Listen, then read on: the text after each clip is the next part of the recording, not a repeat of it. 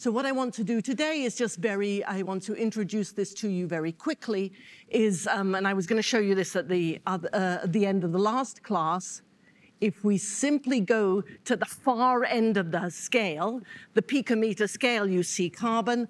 I'm not going to start you with carbon, that is a little dull.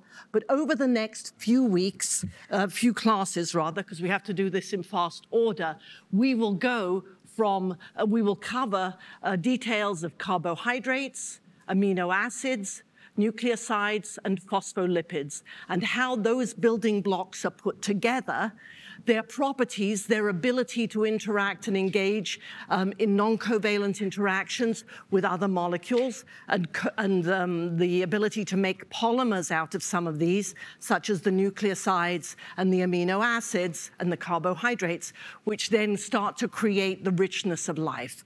We will also discuss today the supramolecular chemistry of phospholipids as they make micelles and lipid bilayers, which are the key uh, boundary of cells. So it's very important.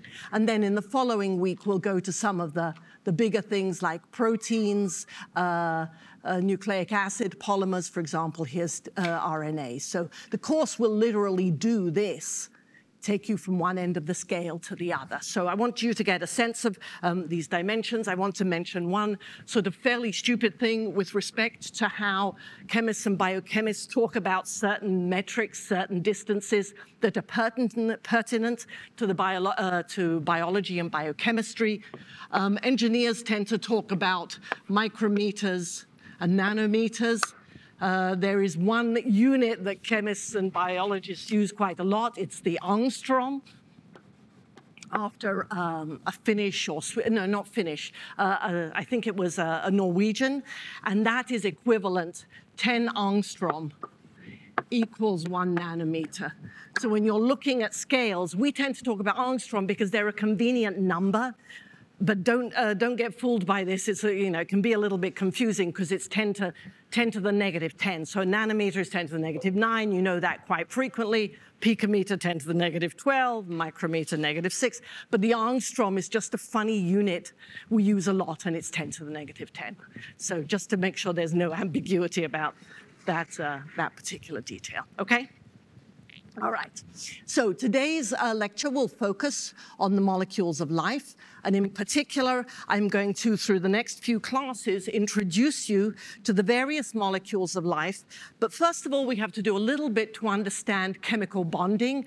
And in particular, we want to look at both covalent and non-covalent bonding because covalent bonding is important. It's the structure, it's the framework.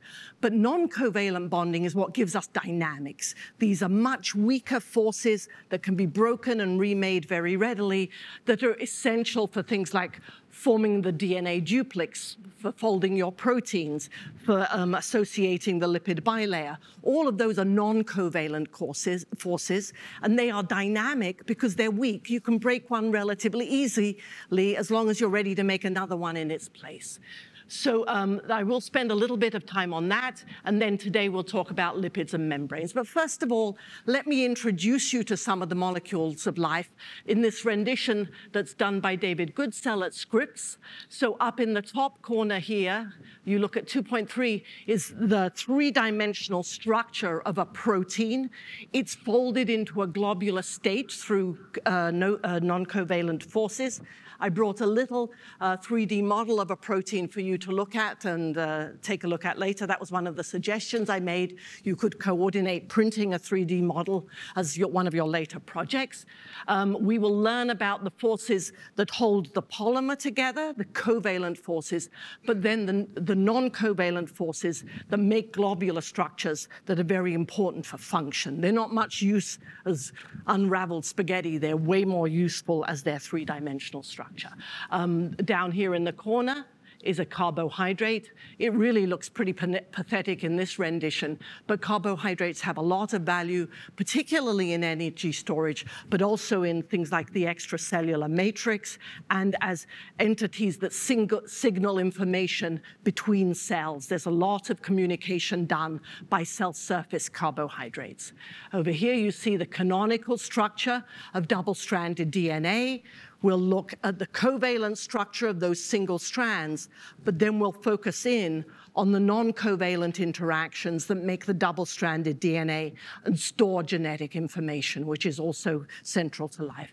And then lastly on this, but we'll cover this today, is a lipid bilayer it's a fascinating supramolecular structure that really is at the heart of how all your cells are held in a compartment surrounded by a lipid bilayer.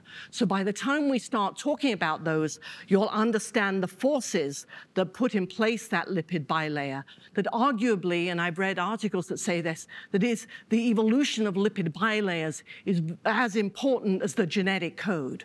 Because if cells did not have a surrounding, did not have an inside where you could concentrate reagents and macromolecules and do biochemistry, we wouldn't exist as we, life wouldn't exist in the same way. Okay, so let's uh, take a look at the composition of uh, living systems. And uh, remarkably, we are about 75% water. So most proteins are very hydrated. There's a lot of water in cells. There's a lot of water outside of cells in the matrix. And really, we, we sort of survive, we, we survive in an aqueous environment. And the thing that you also want to think about is when we think about non-covalent forces, these are forces put in place in water. We don't live in a, on a far distant planet where we're in sort of liquid methane or anything like that. So water is critical to life. Uh, the establishment of the hydrosphere when Earth, Earth, first formed, the evolutionary events that happened after that were, to, were really in hand in hand with the fact that it was an aqueous environment because forces are different whether they are in hydrophobic environments or hydrophilic environments.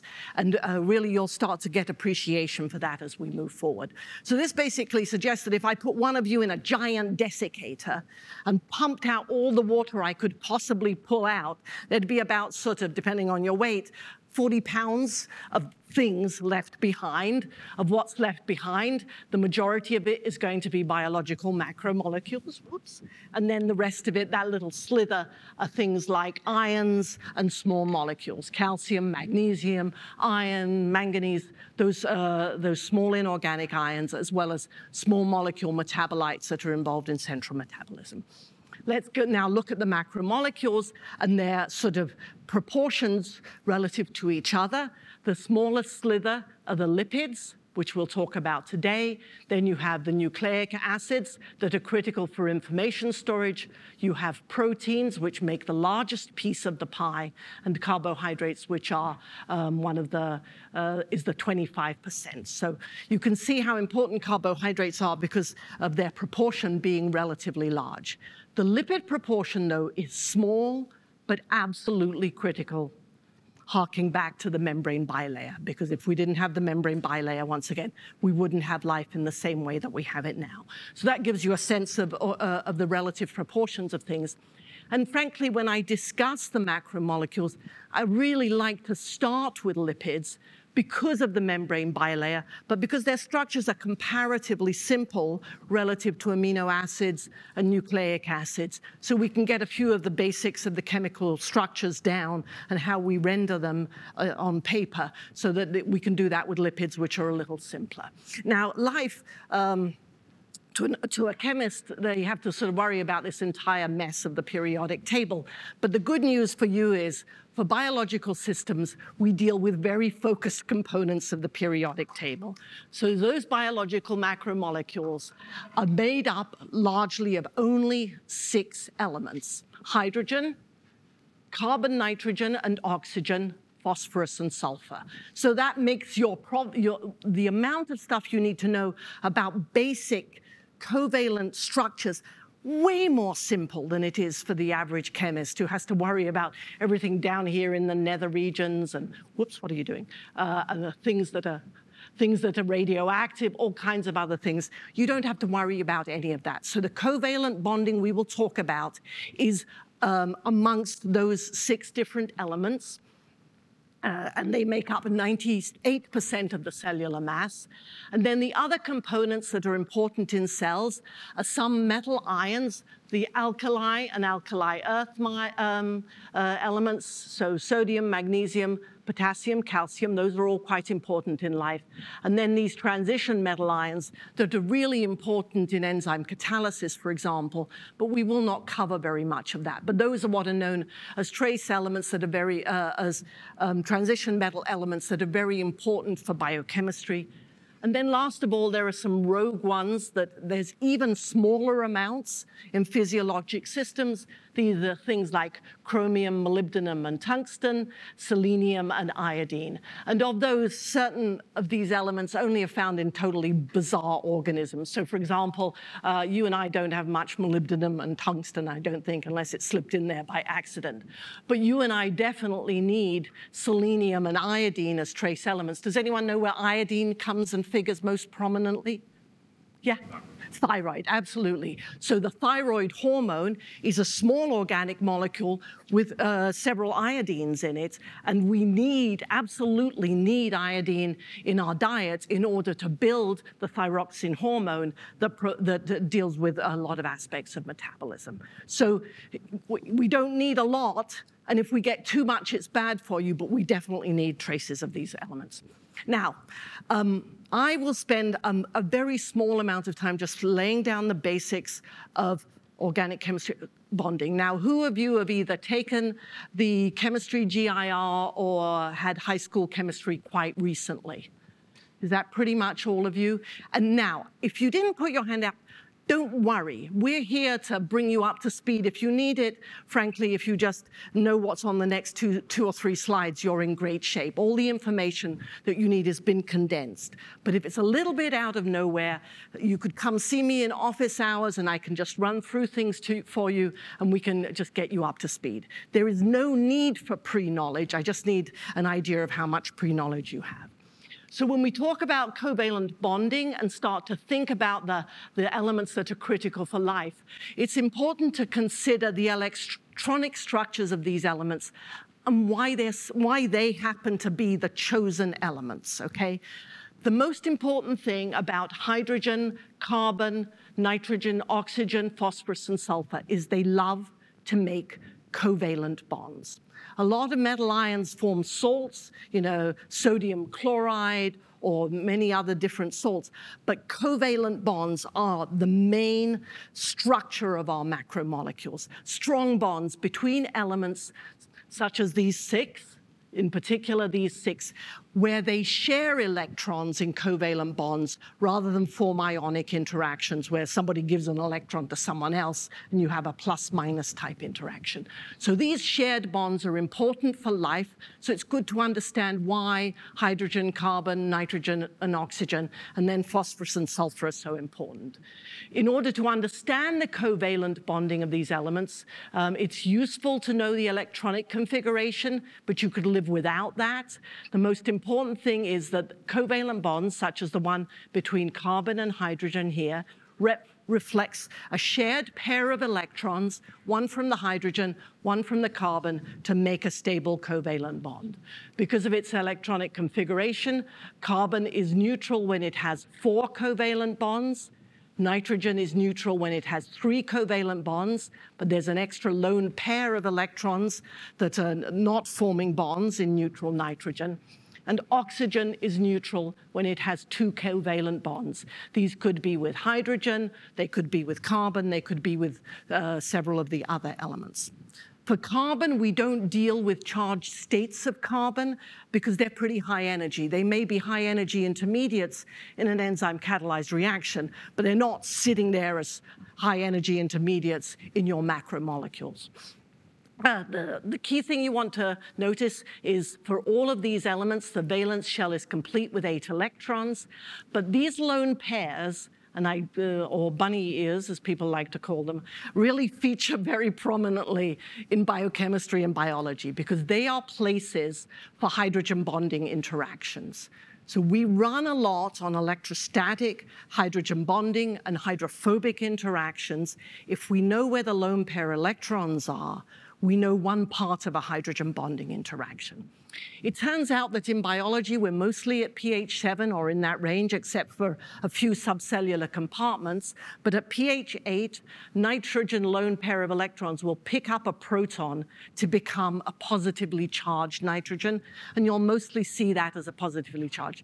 So the side chain of lysine, which has an NH uh, three, uh, an NH2 at the very end of a carbon chain is most commonly protonated and positively charged. So it could be involved in an interaction.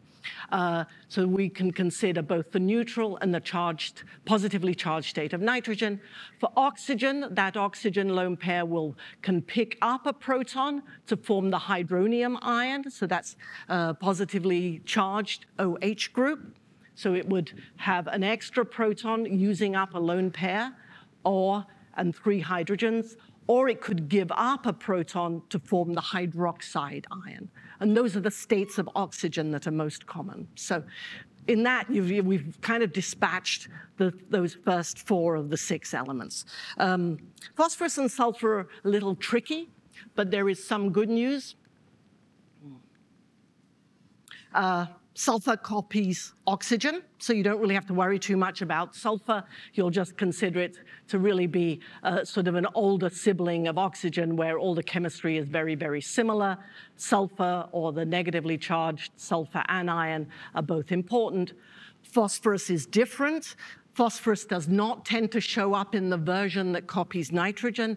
It is, it is capable of adopting higher oxidation states and all of the phosphorus you meet in biochemistry, uh, for the most part, there's a few odd things in weird organisms, is going to be in the form of an oxidized form of phosphorus, which generally has one, two, three, four, five bonds to phosphorus. It can take on a higher oxidation state, and you will see phosphorus phosphorus in the phosphate form is absolutely essential to life because it is the place where we store a ton of reactivity for the reactions of nucleotides, adenosine triphosphate, adenosine diphosphate, the phosphodiester backbone in nucleic acids, phosphorylation of amino acids to form phosphoproteins. It's always in this state with all the, ex the extra oxygens and that, that, that, configuration of bonds, okay? If you know this, you've got a lot of the covalent bonds under control. So any questions about this? Is everyone all right? I know it might be, it's probably a refresher for most of you. The next thing I just briefly want to mention is the most typical um, uh, functional groups that occur in biological molecules.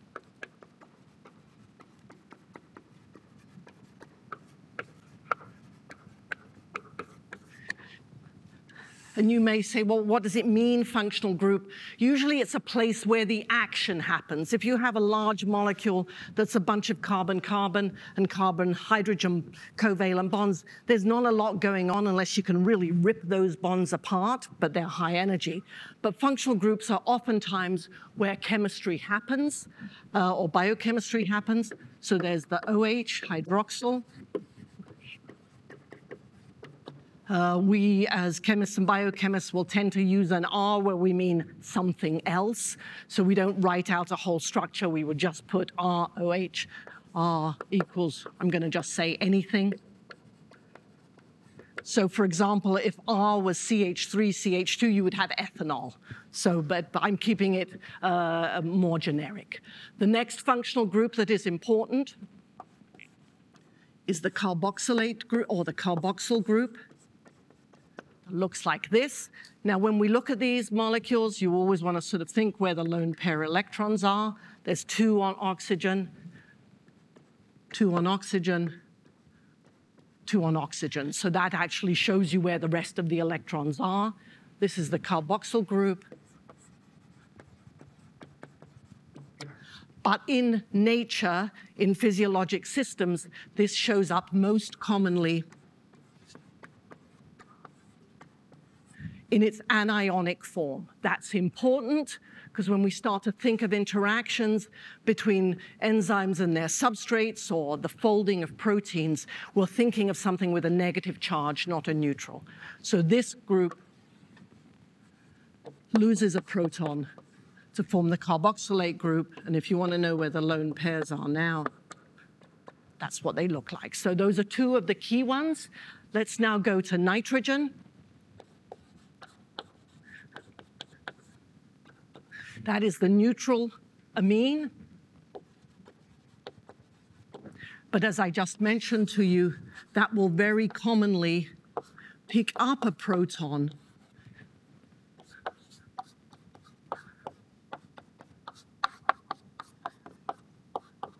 and be in the positively charged state.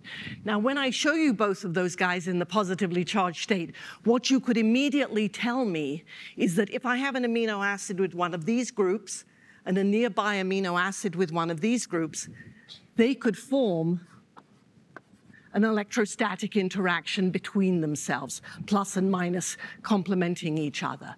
So if you know the charge states, you're much better off because you can tell where, where non-covalent types of ionic or electrostatic interactions occur. So these are very important. Then there's the phosphate group.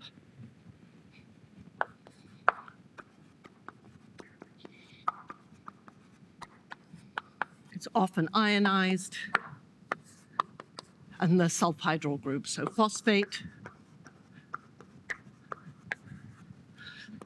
The sulfhydryl group is also called the thiol group.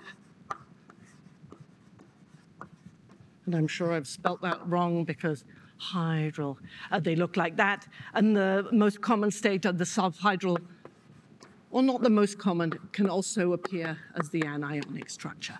So that's the basic functional groups. Now, there are two more functional group assemblies that you will see a lot in physiologic systems that are basically composites of some of these structures. Because when we have single building blocks, we need to join them to each other through different types of chemistries.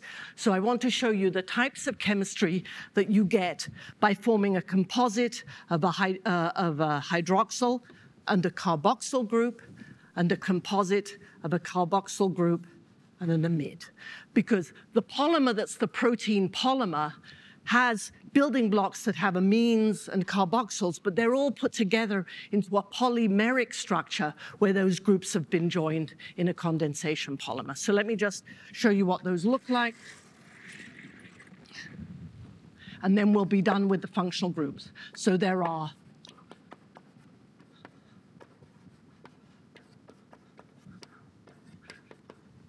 the first one, because I've drawn them in this order.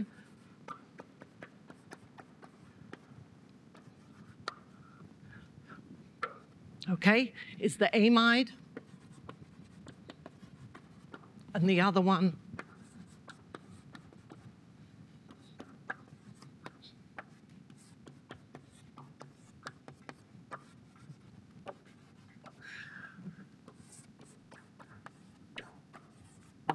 is the ester.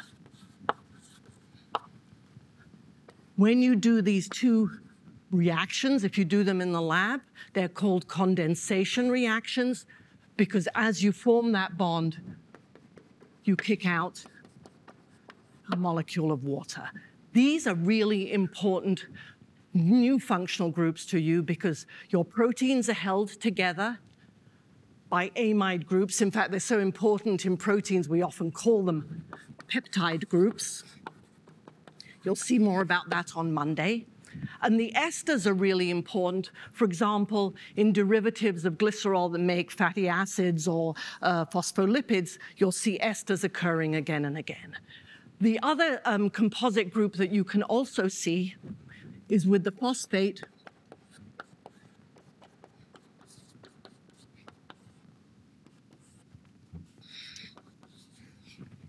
plus an alcohol.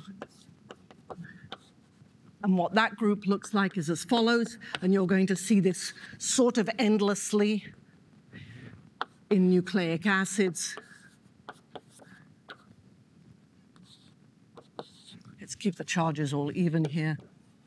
And this is what's known as the phosphate ester.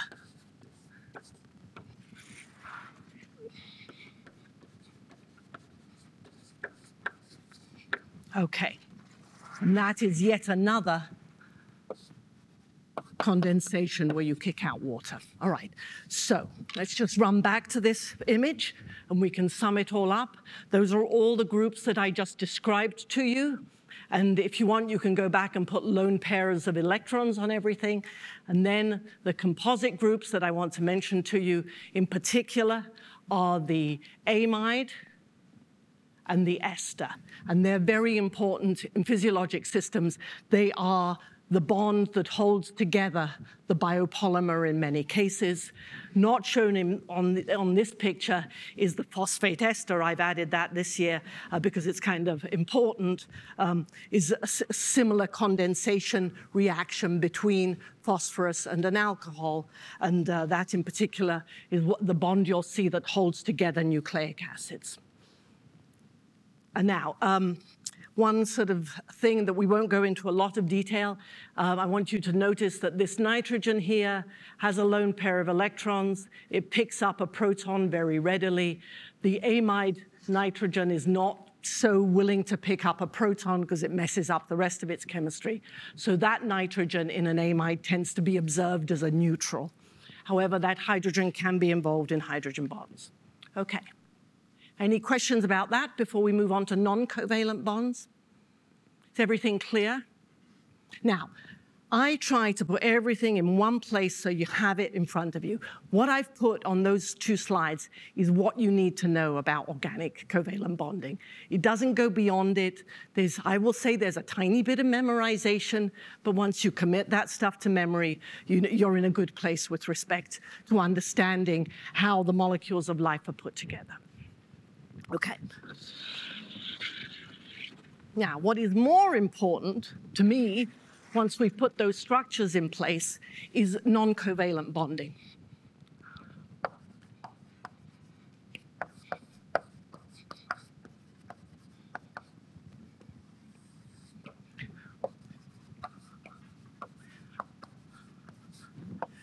Because to me, non-covalent bonding is synonymous with dynamics. Forces that can be readily broken and reassembled, broken and reassembled. The energy, the strength of a typical bond between two carbons or a carbon and a hydrogen is on the order of 90 to 100 kilocalories per mole it takes a lot to break those bonds. We can't break them at will to go and do some biological activity. But the range of energies of the non-covalent bonds are far more modest. They range from, so this is covalent, but the non-covalent range from one maybe to about 10 kilocalories per mole. So when you think about those forces, they're readily broken and made, broken and made.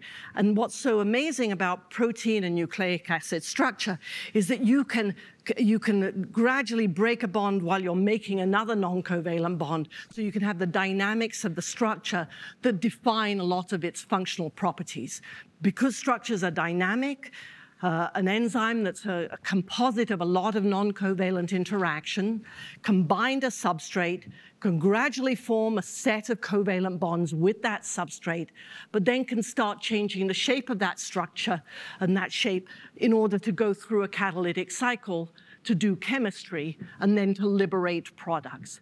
That is all driven by changes in covalent bonding, non-covalent bonding, subtle changes that occur without big energy barriers that would be necessary to break the non-covalent the covalent bonds.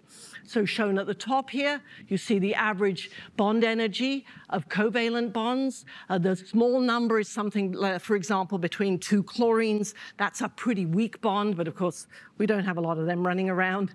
Uh, so really, carbon, hydrogen, carbon, carbon, uh, they're at the higher end, the, about 100 kilocalories, 80 kilocalories per mole.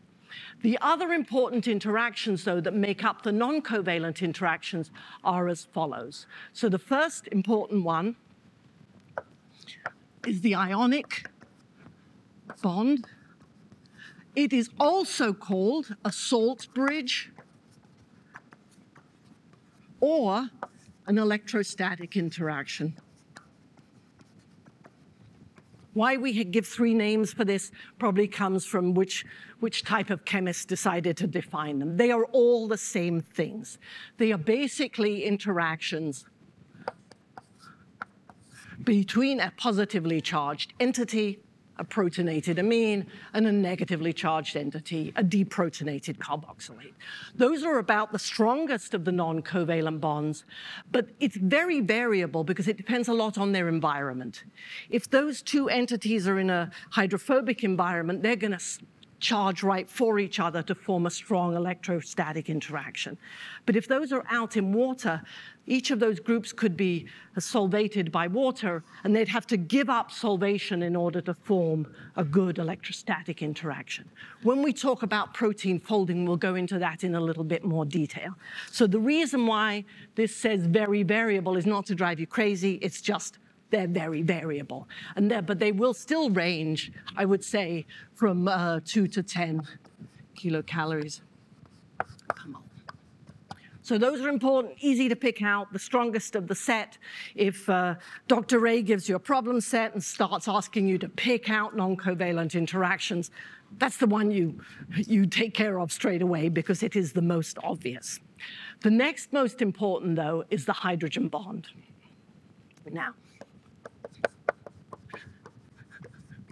Hydrogen bonds have been known to mystify people for years because people are, well, how do I pick these things out? How do I pick these things out? I'm going to give you a foolproof way of picking out hydrogen bonds, so you will never be at a loss for hydrogen bonds, okay?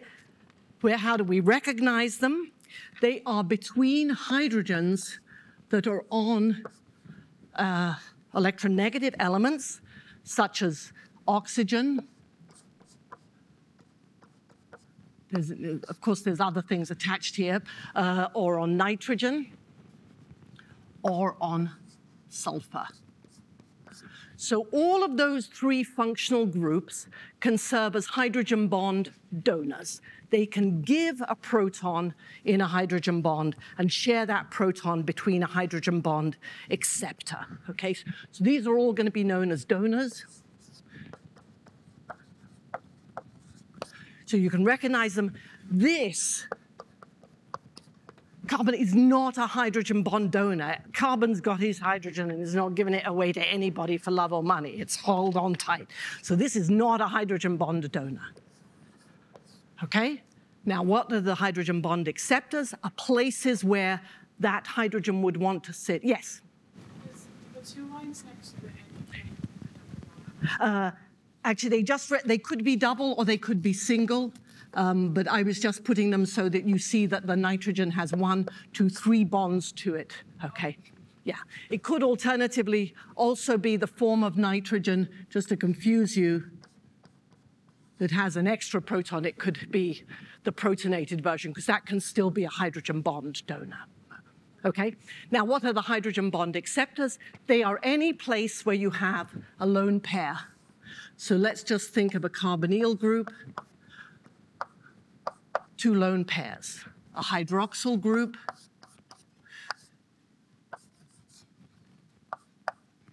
two lone pairs.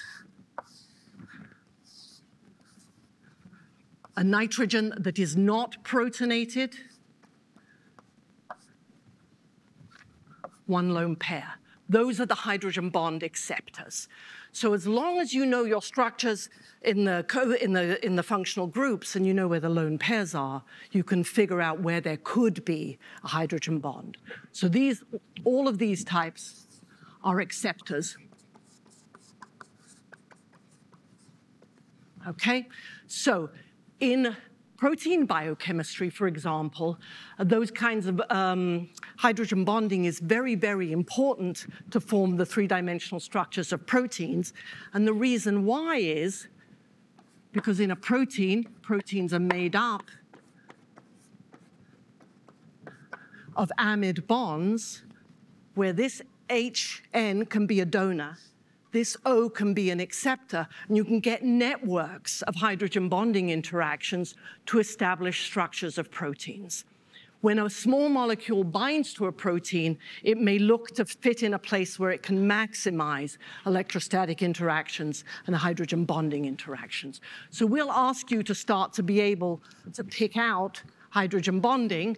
So here you saw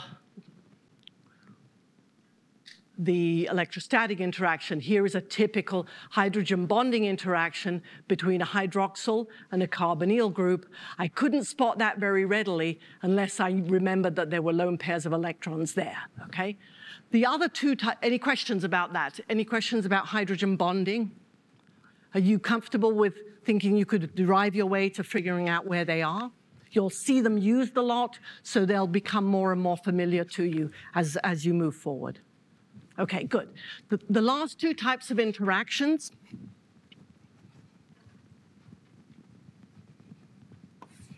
are the hydrophobic interactions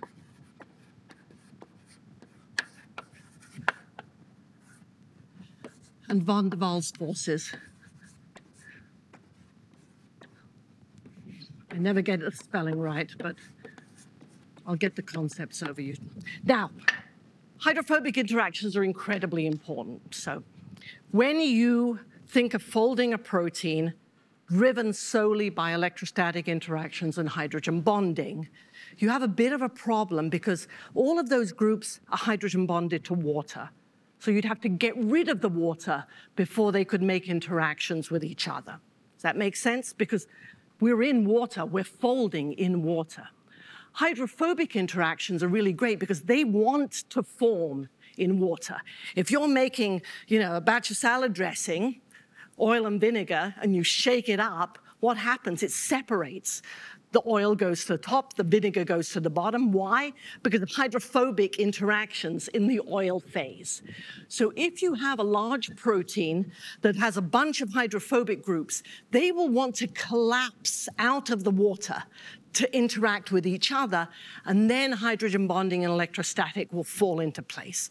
So hydrophobic interactions are a very important and vital force in nature in the non-covalent bonding.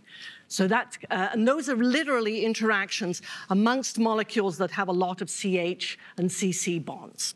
The final force that's shown up there is the van der Waals force, uh, and we don't worry too much about that, but it is simply the interaction between very weakly polarized hydro uh, carbon, hydrogen, or other types of bonds where there's a little bit of difference between the, the a little bit of a dipole between the bond, and they form little dipolar interactions. But mostly, I think you really want to focus on the electrostatic, the hydrogen bond, and the hydrophobic. These are more minor, and it's a little bit of a subtlety. So let's focus on those three. All right. So with that said, the key thing for you, what you need to be able to do is understand them and recognize them in complex systems. Um, lastly, I'm just going to leave this. It's going to stay in your notes. We in, in uh, biochemistry tend to use line angle drawings. Um, it's kind of complicated to draw these sort of great big things with all the hydrogens and oxygens and stuff spelled out. So we use the line angle drawing. There's some shown here for different molecules.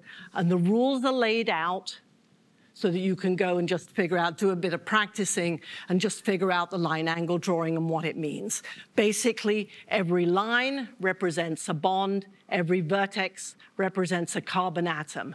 But what you do show on the drawings are the non-carbon um, atoms. So for example, oxygen, or nitrogen. And when you show, you imply the hydrogens that are bonded to carbon, but you have to show the hydrogens that are on nitrogen or oxygen, for example, and you have to figure out what your charge state might be. So I'm going to leave you with that. All right. Okay.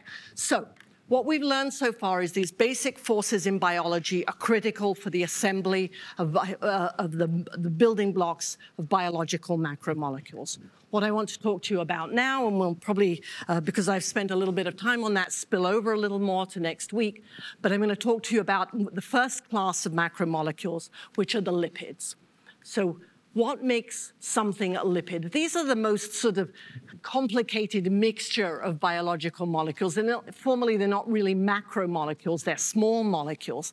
But what's common to all of them is that they are very rich in carbon-carbon and carbon-hydrogen bonds, because all of these the line angle drawings of all of these would suggest to you that the dominant feature of all these molecules is a bunch of CC and CH bonds, which makes the molecules quite hydrophobic. There are no functional groups there, and, uh, and they uh, behave very differently. For example, they would have a tough time dissolving in water in some cases. And so this complicated looking set of molecules can be distilled out as being very rich in carbon-hydrogen and carbon-carbon bonds, and we call those collectively lipids. Now, in, uh, they have a lot of different functions.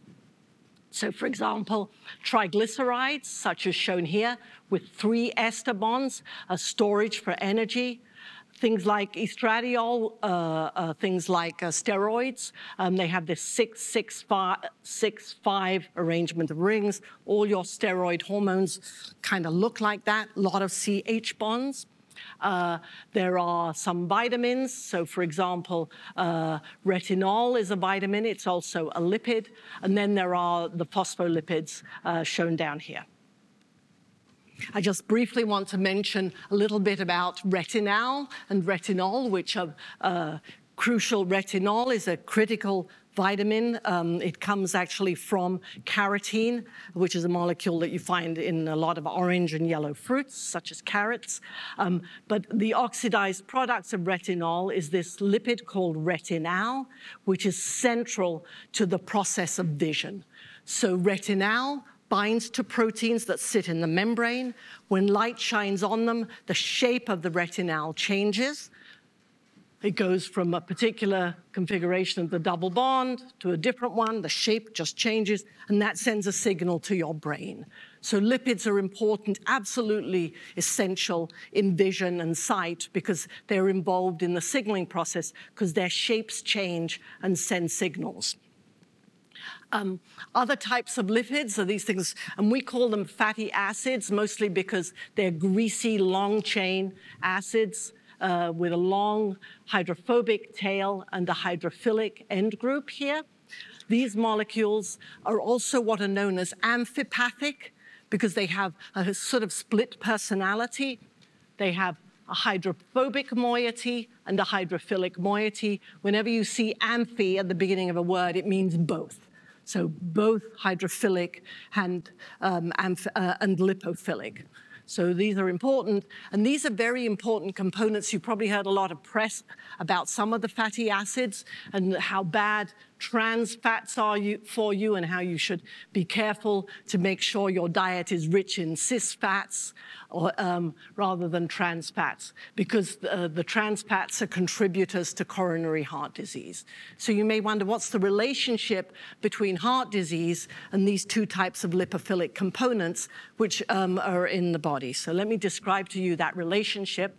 Uh, remember, the cis fats are rich in things like the, the nut oils and fruit oils, such as olive oil.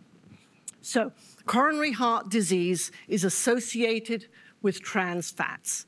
What's the linkage? What's the biology in that? So, in the, the, it comes, the story is related to cholesterol. Cholesterol is a critical component in our membranes. The trouble is we have to be able to move cholesterol around but it's so hydrophobic it doesn't dissolve in water. Okay? So in the body, your cholesterol is moved around in the form of lipoproteins that bind to the cholesterol and take it to the different organs where it is needed. All right? And so the lipoproteins can either be low density and um, associate with cholesterol, or they can be high density, and those also associate with cholesterol. The high density lipoproteins are kind of large, In fact, they're fairly agile. They don't stick to arteries and vesicles, uh, vessels, and they can be excreted in the liver or move around the bloodstream without any problem. It's the low density ones that are problems because they're low density and they kind of stick to the walls of your arteries and start making buildups and then plaques, which contribute to heart disease. So the low density ones have cholesterol, but they're very small, sticky, and it's a physical interaction with your blood vessels vessels and they start to clog your arteries. What's the relationship to saturated and trans fats is that they increase the low density lipoprotein in preference to the high density. So if you have a lot of trans fats, you make a lot of low density lipoproteins. It's trying to carry cholesterol around, but it gets stuck to your blood vessels and you start to clog your blood vessels for, for heart that contributes to heart disease. So these lipophilic molecules are important.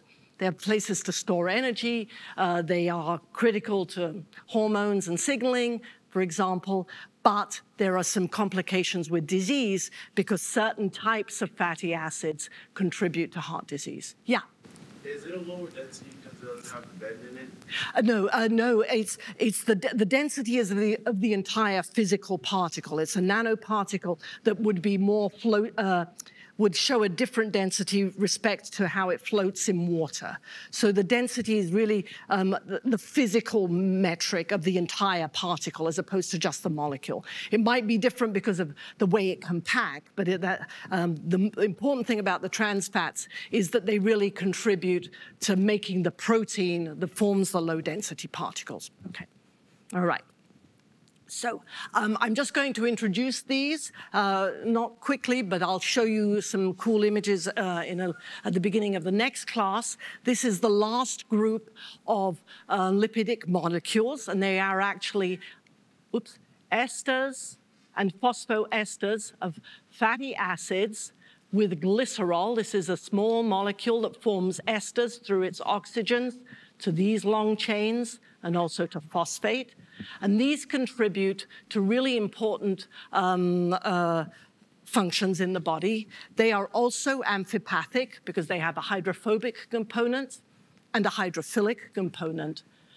And we often draw them in a shorthand form like this to represent this head group and these tails.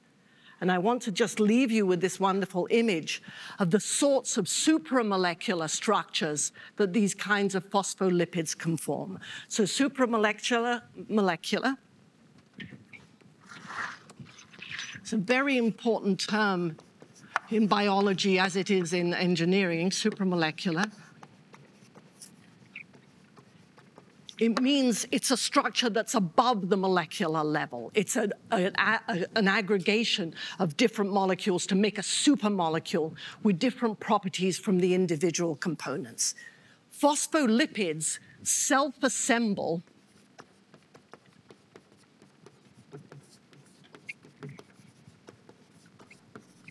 and that's another important term, into supramolecular structures that are very, very important in living systems. Some of them uh, are just are useful in other sorts of engineering approaches, such as liposomes and micelles, but the most important supramolecular structure of a phospholipid is the lipid bilayer that surrounds your cells. And what happens is you simply put those molecules, the phospholipids in water, and they will self-assemble on their own into these supramolecular structures. Whether they form micelles or liposomes or bilayers is dependent very much on the tails of the lipids what sorts of shapes and structures you get. But in physiology, in human physiology, the phospholipids that we have want to form these bilayer structures that have incredibly important properties. Most importantly, that they are semi-permeable and they can wrap, form the boundary um, to certain cells. So I will continue with the final discussion of this on Monday before we move forward to the amino acids, peptides, and proteins. And I just quickly want to move you to ask you for Monday to try to uh, catch a read of the section 3.2 in the text if you have a chance. It'll give you a nice preview.